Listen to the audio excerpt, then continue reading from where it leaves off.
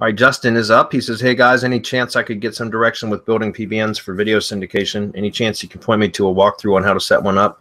You have a section of masterclass on some things. What themes do you use? Do you make logos and graphics for each surrounding IFTTT network? What basic plugin should be using? Really like a video with you guys creating one from start to finish. Thanks, Justin.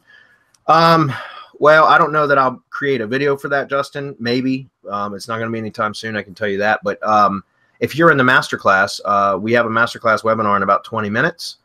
If you want to post that this question over there, we can go into a little bit more detail on that. Um, that's fine. And uh, knowing that you want that, you know, you're requesting that, we also have a thread in the masterclass Facebook group for, you know, content um, requests or from you guys, from any from many members that has been, uh, I, despite my nudging, despite my prompting, um, there's been very little requests for content in in that thread. And it's again it's in the masterclass facebook group. So uh, if you want to contribute to that and request some specific content that's the place to do it. And uh, we can cover that a little bit more in depth. Okay?